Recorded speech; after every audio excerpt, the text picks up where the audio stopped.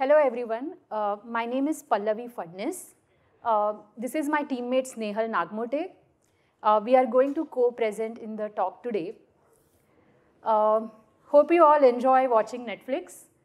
Uh, I am an avid user myself and I really enjoy working at Netflix.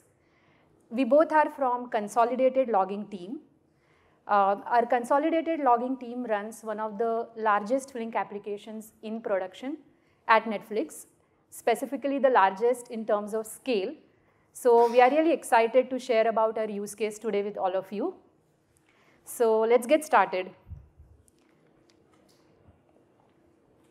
Uh, so here is the agenda for uh, today's talk. Uh, I'll first start by giving you an overview of consolidated logging. Uh, then we'll take a look at you know, high-level architecture of our log processing platform built on top of Flink. Uh, we'll then look into uh, the design aspects of the log processing application, and I would like to share some interesting learnings we have had with the massive scale that we have. In the second half of the presentation, uh, my teammate Snehal is going to present about event extractor use case and related learnings. She will also touch upon uh, some operational aspects, uh, and then she'll talk about the impact we were able to achieve with the Flink-based platform.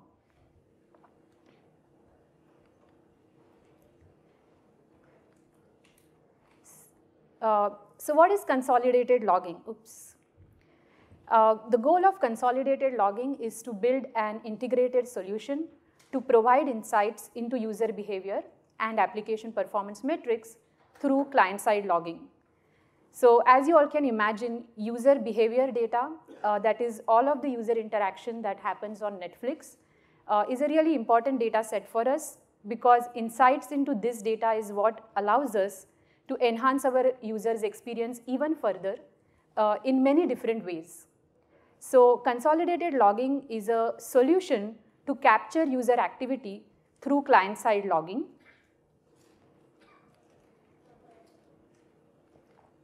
There are, uh, there are many different use cases where uh, consolidated logging data is used to enhance user experience by analyzing user behavior.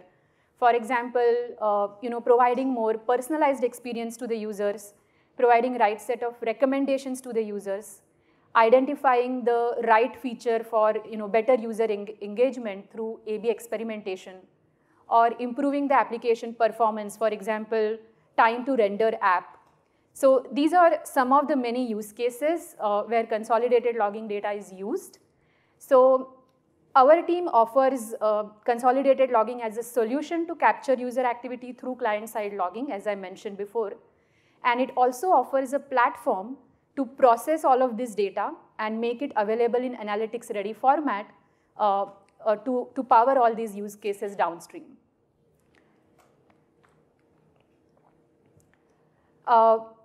I just want to add note that uh, going forward, I might refer to consolidated logging as CL. So keep in mind that CL is a short form for consolidated logging.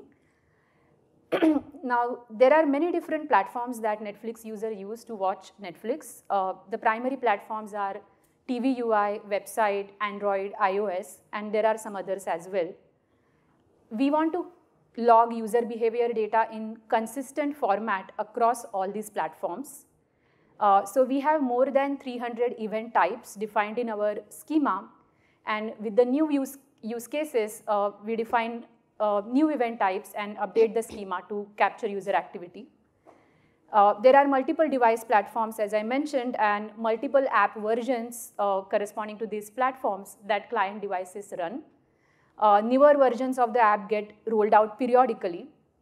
So hopefully that gives you some idea about the complexity of consolidated logging. Now we have millions of users and millions of devices, so that leads to a huge scale. So we have like hundreds of billions of events per day, uh, or over a petabyte of user behavior data per day. Uh, our platform needs to process all of this data. So here is a, a high-level picture of uh, the CL platform. Uh, it's a de facto logging platform to address uh, different kinds of logging needs at Netflix.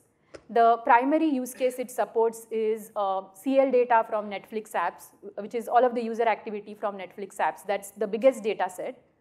Uh, but in addition to that, it also supports other logging use cases. So all the application logs from internal tools as well as some other external applications. So the platform needs to support these different logging uh, use cases and corresponding specifications. Uh, the primary feature of the platform is to perform real-time data processing, uh, which involves data transformations as well as data enrichment uh, and making uh, the data available in unified output schema for downstream consumption. Uh, there are different sets of uh, downstream use cases. Some of them are uh, batch consumers. Some of them require you know, stream consumers, low latency, low latency. So the platform needs to support different kinds of data sinks uh, like Kafka, Hive, and Elasticsearch. Uh, last year, we migrated our uh, legacy pipeline uh, to the new Flink-based platform. Uh, events from client uh, land, uh, hit the landing service, and from there onwards, you know, there was like this series of processing components, a long chain of processing components in the legacy pipeline, which was inefficient and it involved duplicate processing. So we unified it into Flink-based platform. Uh, the, the new platform is much more efficient and offers a bunch of benefits that Snehal is going to talk about uh, later in the end. Uh, so if some of you are considering migrating your uh, legacy stream processing pipeline, which looks, looks like this, to Flink, uh, we would uh, definitely recommend it. The Flink-based platform consists of two components, CL app, uh, which is the generic log processing application, uh, and event extractor. Uh, event extractor provides managed data sets on top of consolidated logging data for downstream batch and stream consumers. so in the next few slides, I'm going to talk about uh, CL app, and then later Snehal will present about event extractor. Uh, all right, so let's look at the features of CL app. Uh, it's a generic log processing application to support different logging use cases. So it needs to support uh, different logging specifications or schemas corresponding to uh, the different use cases. It performs real-time processing, which involves applying a series of data transformations on the incoming logging events to, uh, to provide uh, them in uh, analytics-ready format for consumption. In addition to transformations, it also performs data enrichment. So it enriches incoming logging events with additional information uh, such as uh, users membership information, geo information, and device type information. Uh, so it performs joins or lookups uh, with dimensional data uh, that can be done using microservices and other approaches. It provides single source of truth with unified output schema for downstream consumption. It supports two different data sinks, Kafka and Hive. And in terms of SLA, the throughput that it supports is 3.5 million events per second at peak, and the latency is below 3 milliseconds.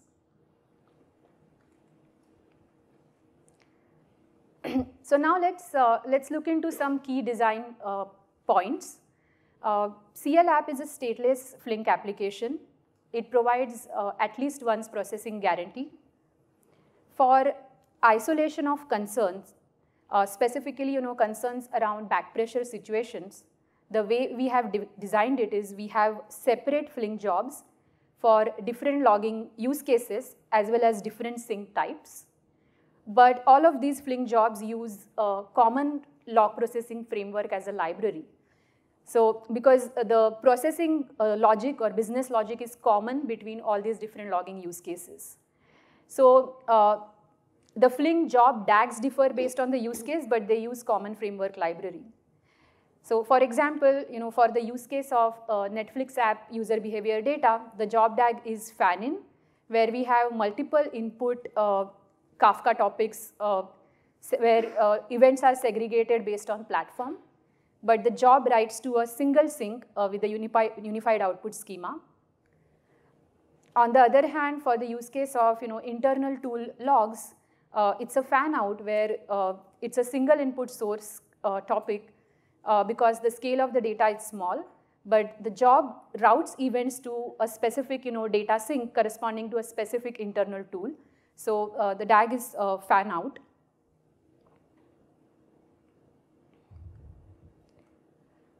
Uh, this is a high-level design diagram of the common log processing framework that I talked about. Uh, so I'll go through the key components and the data flow here. Uh, log consumer consumes raw logging events from Kafka. Uh, spec parser, depending on the request type and version, identifies the schema, logging schema for the event, and it is able to parse the event based on the schema uh, when we onboard new use cases onto our platform, as a part of the onboarding process, uh, the user subscribes uh, for the kind of data enrichment it needs for the logging use case, the kind of transformations it needs, and also uh, the sink configuration. So all of that is configuration driven and configuration is keyed by source name. So the framework, uh, depending on the incoming logging event, identifies the source of the event looks up the configuration and applies specific set of data enrichments, data transformations, and then routes it to the corresponding sink uh, based on configuration.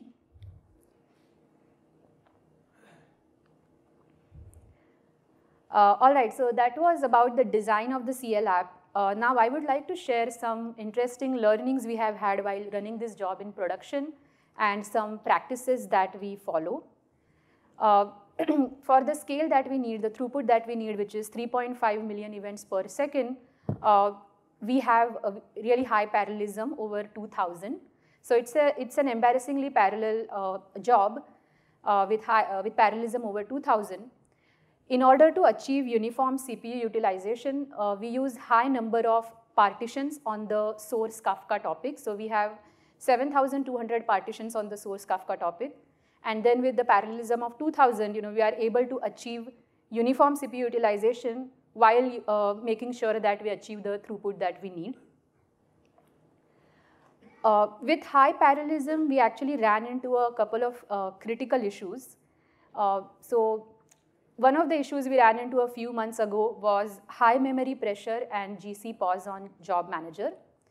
Uh, so I'll describe the symptoms of this issue uh, first.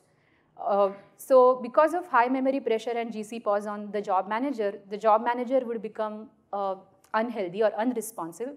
And as a result, uh, uh in order to recover, it will lead to the restart of the application. Uh, and that would sort of trigger this you know, recovery failure restart loop. so this was caused because of two issues. there was a memory leak bug in the job manager so thanks to the open source community for fixing this bug. Uh, other issue was uh, scaling bottleneck of Kafka sources union state. Uh, so Flink also provided a short-term fix for this for us. So uh, let me describe it in a, in a, little bit detail. So uh, Kafka source uses union state of all the partitions when automatic partition discovery is enabled. Now, because we have 7,200 partitions, like large number of partitions on the input Kafka topic, uh, the size of this union state becomes really large in GBs.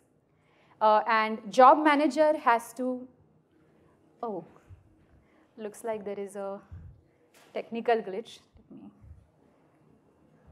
All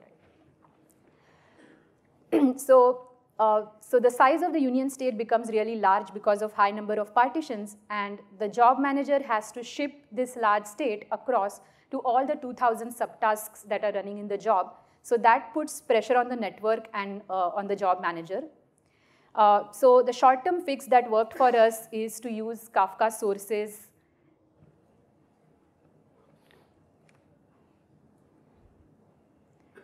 uh, is to use Kafka sources uh, partitionable state when automatic partition discovery is uh, disabled. Uh, another challenge we ran into with high parallelism was uh, overwhelmed coordinator uh, due to thundering herd problem. Uh, so uh, again, you know, we have, so Flink creates one Kafka consumer instance per subtask. Now, because we have 2000 subtasks running in the job, what happens is during the Kafka consumer initialization, all of these 2000 Kafka consumer instances try to fetch the committed offset from uh, the same coordinator roughly around the same time. And that uh, overwhelms the coordinator. So, and on top of that, that actually there was a sneaky bug in Kafka where uh, the consumer uh, gets stuck in a loop and it's not able to uh, initialize. So this actually leads to a stuck consumer where a few of the Kafka consumer instances are stuck and they are not able to make any progress or not able to read uh, any data from the partitions. Uh, so the fix that our platform team provided for this was uh, introducing a jittering mechanism uh, in Kafka consumer initialization. So uh, because of this jittering during Kafka consumer initialization, what happens is all these 2000 Kafka consumer instances do not bombard the coordinator at the same time, uh, and that helped us resolve this uh, stuck consumer issue.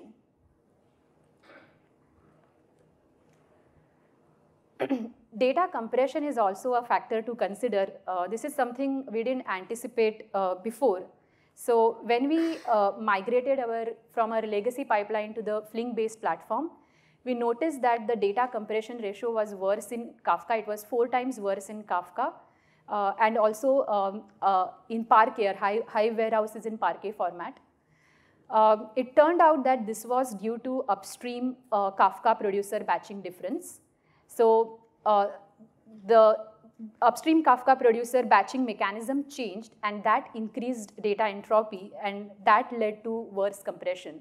So after fixing the batching mechanism upstream, the compression ratio improved.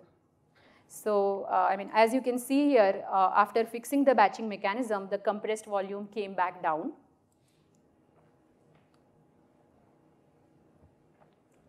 Um, if you are uh, performing data enrichment from your Flink application, which involves calling external microservices, then uh, you know, keep in mind that a huge backlog in Kafka and you know, if, uh, if you have like auto scaling enabled, it can lead to sudden load on uh, external services. So you might need to implement throttling to rate limit the API calls. uh, another issue that we occasionally run into in production is uh, Kafka backpressure situations. So the application is not able to produce to Kafka uh, because of uh, infrastructure issues such as you know, outlier broker or leader election failure. Uh, because of this, what happens is uh, we have like a lot of task failures in the uh, Flink application. And since we uh, do at least once processing, it leads to uh, duplicate events. Um, so we have set aggressive alerts on Kafka infrastructure issues to identify it sooner in order to reduce the number of duplicate events produced. Uh, lastly, you know, this is a minor thing, but we also ran into some Guice dependency injection conflicts with Flink. Uh, that is some jar conflicts for Spring. And if you run into similar uh, issue, Flink documentation has some guidelines around it. So uh, Flink by default inverts class loading order, uh, and that can be changed by setting this parameter class loader resolve order to parent first. So that's all I have about the, uh, oops. All right, that's all I had about the learnings we have had while running, building and running CL app in production. And now I'm going to call upon Snehal to present further about Event Extractor. Hello. Thank you, Pallavi. Hi everyone, my name is Snehal. I work with Pallavi on consolidated logging team. Today I'm going to talk about Event Extractor, a Flink-based platform which we built to provide managed data sets for our consumers. So in today's talk, I'll talk about Event Extractor use case, design, some of the challenges and learning we had while productionizing this pipeline, and lastly, I'll talk about impact and benefits of this platform. So quick show of hands, how many of you, uh, how many of you use Netflix? Well, quite a few. So let me go over the use case for Event Extractor. So I, I will summarize what Pallavi talked about CL data pipeline to set context. In CL, we collect user clicks, searches, application performance metrics, and impressions. And this data flows through CL app data pipeline, where we transform and enrich it to make it available for analytics ready format. So once this data is available in Kafka, what do we do with this data? So we have many consumers who would like to consume this data to build their uh, use cases. For instance, personalization pipeline uses this to power trending now algorithms. Search pipeline uses this to improve search results. Impression pipelines also like to use this data to further improve and tune impression algorithms. At Netflix, we are a data-driven company, and we do extensive A-B testing to improve user experience. So our A-B experimentation pipeline is one of the biggest consumer of this data. We also use this pipeline uh, to do exploratory analysis for several different use cases. We also have consumer insight pipeline who uses this data to build customer service tools to help answer any questions related to customer support. So this is the screenshot of Keystone and how our consumers were uh, consuming this data for CL data pipeline. I think many of you are already familiar with Keystone. Uh, it, is a, it is a backbone of Netflix real-time data infrastructure, and it's built by our amazing platform team. Many of them are all also present in the conference. So uh, high level, Keystone provides two services, data pipeline and serves, um, and it provides the Flink platform as a service. So as part of data pipeline, user can build uh, filters, which is basically a Flink application on top of Kafka streams. Since many of our users were interested in consuming specific data set, they would use this pattern uh, to consume the data. So each of this filter is a Flink streaming application Now, there were a few issues with uh, consuming this data for CL data pipeline because our scale is too high. We process 3.5 million events per second globally at peak, and that results into hundreds of billions of events per day. With this pattern, we were reading the same data multiple times. So that means it was actually causing compute redundancy. Also, over time, we onboarded so many consumers that it became difficult to scale existing Kafka infrastructure for outgoing bytes. And we started copying the same data into a different Kafka topics to enable the same pattern for our consumers. And this pipeline had high compute and operational cost. So we replaced these keystone routes for CL with an event extractor, which is a single Flink application, which read data once and routes it to multiple sinks. So what is event extractor? It's a stateless job. It can read data once, and it applies the configuration-driven processing and routes it to multiple streams. So to onboard new config, I don't need to do any code change. Functionality-wise, uh, we have support for filter, transformation, and projections. So user can also express SQL queries uh, to express the filter expression. We also provide out-of-box metrics for our users. Now let's look into how user can actually interact with Event Extractor. So currently, uh, we store all of our user configurations in YAML. Uh, our configs are managed in version control. So once user submit a new config he is interested in, we update that in S3 via batch data pipeline, uh, and that S3 is actually input to an event extractor. So this is one of the example config. Uh, event extractor expects config to be in certain format. In filter expression, uh, user can write SQL queries. So filter expression is nothing but the where clause of your SQL query. Via projection expression, uh, user can specify set of fields he wants to consume from the stream. So transformation has support for passing nested JSON and making it high level or top level field. In sink details, uh, we have capability to route this data to Kafka, Hive, or Elasticsearch. Owner name is something we use for bookkeeping. And route name is used for publishing metrics for that particular user config. This is a high-level design for event extractor. So it mainly has three components. We have config reader, which reads these user configs and creates the dynamic DAG. It also builds the POJO out of those configs, and these POJOs get passed to filter, transformation, and projection operators so that they can do the configuration-driven processing. Schema builder creates the thin layer of schema over the streaming data. Since we have support for uh, writing SQL queries in filter expression, we use SQL parser to evaluate that expression. And lastly, uh, we have support for routing data to Elasticsearch, Hive, or Kafka, and this, this is basically taken care by libraries.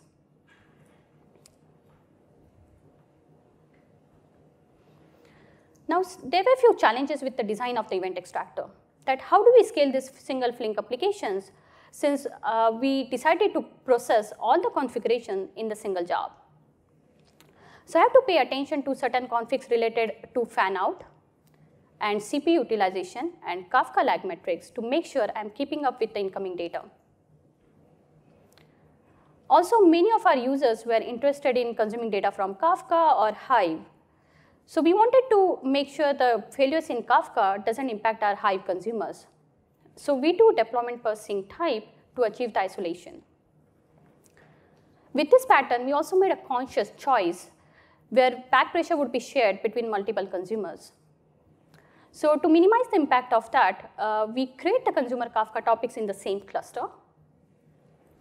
We also do extensive canaries and testing before onboarding new config to make sure it doesn't really impact the existing configuration in production.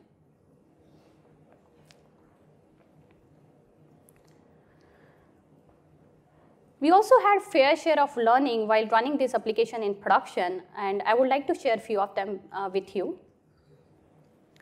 So one of the issues I ran into is uh, buildup of network pressure used to cause S3 checkpoint failures due to socket timeouts.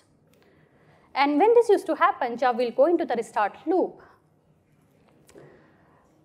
so we store checkpoints in uh, S3, and this is again taken care by our platform provided libraries. So we noticed that uh, S3 objects were not getting garbage collected. So they added a fix where they added a support for better G1 GC and increased S3 timeouts.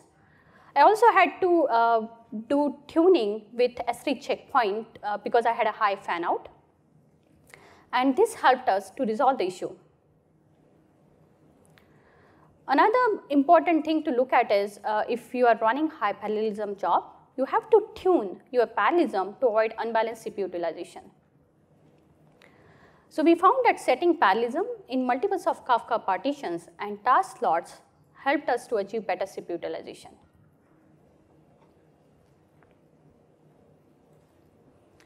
Another issue our downstream Kafka consumer reported was uh, he was using watermark assigner to progress the high watermark. And apparently it needs continuous stream of records um, in all the partitions for Kafka topic. And this is actually an open issue in Flink. And we were using sticky partitioner, which can actually skip producing data to out of sync partitioner. So setting uh, sticky partitioner min qualified ISR ratio to 1 helped us to produce data even to out of sync partitions. And this helped us uh, with producing continuous stream to progress the high watermark. One of the most common issue we see uh, in production for all of our streaming application is basically outlier container or broker, and that can happen due to bad hardware. And when this happen, consumer can get nonlinear traffic pattern. And this results into a stuck consumer alert. What that means is um, some of the partitions are not making progress at the same rate as other partitions, and your application will lag. So we have extensive alerts set on this, and to take care of it, we kill these containers specifically. This can also happen when there is an outlier broker in your Kafka. And when this happens, your producer will throw batch expired timeout exceptions and increase in checkpoint failures. And if this happens for a period of time, uh, it can introduce duplicates for downstream Kafka consumers. Again, to catch these situations, we set alerts on it and then take respective action. Now let's go into some of the op operational aspects of the streaming application. So we use Keystone, which is a self-serve UI uh, for deployment of streaming applications. It is really one-click button where we can specify jar, and it takes care of the underlying container management for our applications. It, pro it also provides the out-of-box Elasticsearch Logstash, Kibana support for applications log, so that we can, it helps us in debugging any issues quickly. With Keystone, we also get uh, some of the alerts um, out of box, and that integration is with, with Atlas. For deployment, we use uh, minimize duplicate deployment strategy. So we store checkpoints in S3. So when our application actually starts from failures, it actually starts from last successful checkpoint. For restart strategy, we use fine-grained recovery mechanism. What that means is if there are task failures, we lean towards only restarting those tasks rather than restarting the complete application. Since our application is stateless, we can do this. But if it's a stateful job, you may have to lean towards having the full job restarts because some of the operators are dependent upon the output of previous operators.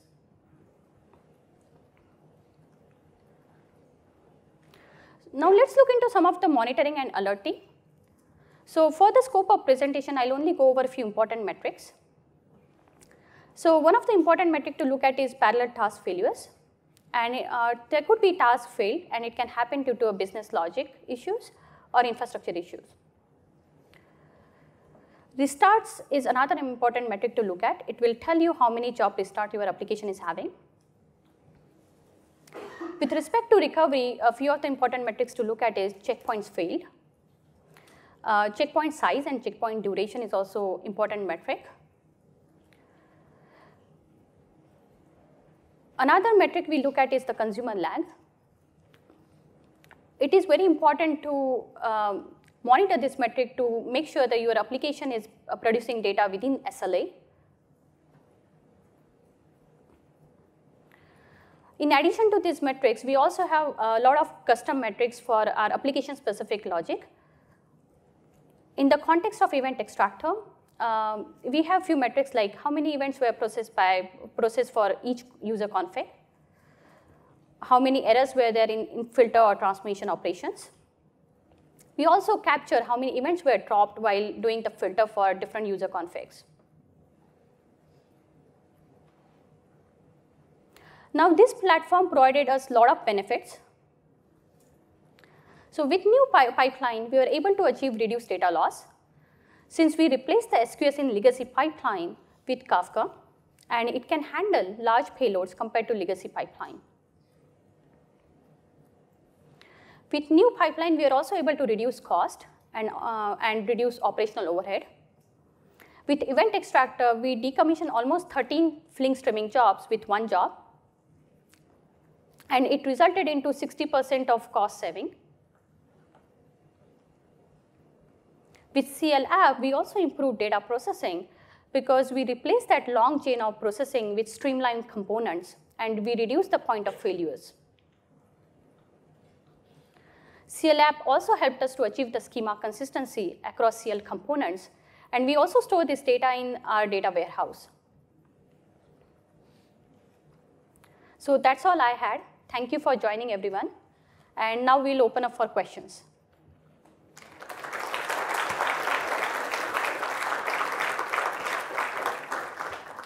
is a question. So what's the typical event size for your log data? Uh, what is the, let's switch to.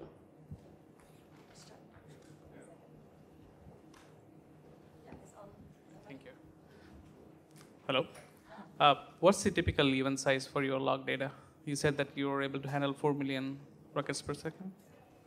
Um, so let me repeat the question. So what is the event size for the log data? Yeah. Um, it's like, it's in, it's in KBs like around, it's like around 15 KB max per event. Yeah. I think there is a question over there. Oh, there is a question.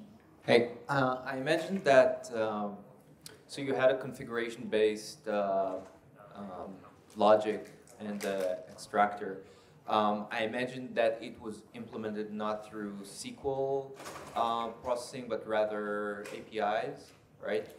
Uh, and so that's a question. And also, um, do, you, do, do you support also like grouping by, or is it strictly stateless? And if you do support grouping by, how, how would you go about doing that on the operators in terms of like dynamic configurations? So the question is, uh, in event extractor, we do configuration-driven processing, and whether it's uh, expressed via SQL or whether we use the underlying APIs to do that, right? And second question is, uh, is the event extractor stateless? Or uh, if we want to make event extractor stateful, uh, what would be the concerns and how we would be able to do that? So the answer to the first question is, um, yes, uh, we do configuration-driven processing. We don't use Flink SQL APIs right now. Um, we use thin layer of uh, SQL JEP, which is basically we use the Java expression parser to parse the SQL expressions. And uh, with that, we use all the data stream APIs for doing filter, transformations, and projections. Uh, second answer to second question is, yes, event extractor is stateless. And uh, if you want to make event extractor stateful, uh, as in the group by, then I think uh, it would be a little tricky uh, because then um, uh, it makes the job DAG more complex when there, are, uh, there is one user config which, which is probably stateful and other configs are you know, not doing that heavy lifting. So I think running that uh, job DAG in production would have different consequences, mainly in terms of recovery and also making sure the application is healthy and keeping up with the traffic. So that's something we need to think about. So in that scenario, probably having one Flink application for each stateful application, that pattern would make sense. Thank you. Okay, uh, I have uh, I have two questions. Yeah. Um, one of them is uh, for data enrichment, uh, what were the trade-offs you noticed between using uh, something like a microservice um, or a broadcast state um, and second question is, um, with your particular um, problem with the union state, um, a naive question I have is, would that problem still occur if you had a keyed topic and a keyed uh, state for your job processors? Uh, okay, so so the first question is about data enrichment, what our experience was uh, with using microservices. Um, yeah, so the challenges uh, with using uh, microservices to perform data enrichment is to make sure that we uh, maintain the SLA in terms of you know latency. Uh, so in order to you know uh, make sure that we optimize I/O, we have we have to use like a caching layer and also perform API call at the batch level instead of per event in order to reduce the load on the external service. Uh, and another possibility is to also use like something like async IO. Um, so uh, right now, you know, in, when, in our use cases for doing data enrichment, uh, it was just one of the uh, cases uh, for geo enrichment is where we were using uh, microservices based lookup. And now we have moved to another approach. so yeah, so that is about, you know, and we need to also make sure, as I mentioned, is to rate limit the API calls in order to not load the external service with higher, higher uh, volume than anticipated.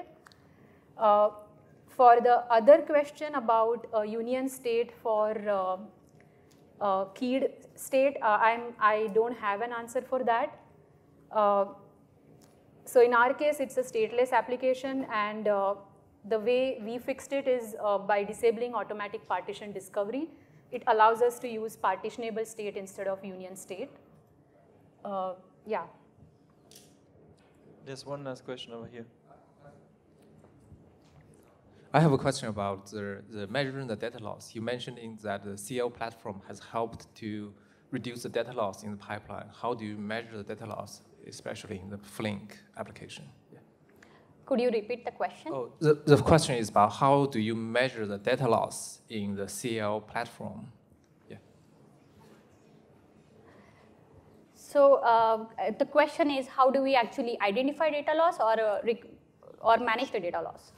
Uh, you mentioned in the slide saying the data loss is improved, right, comparing to use Keystone.